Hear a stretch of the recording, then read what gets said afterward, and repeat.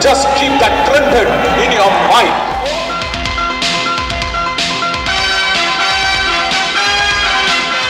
I am Bharat Chandran.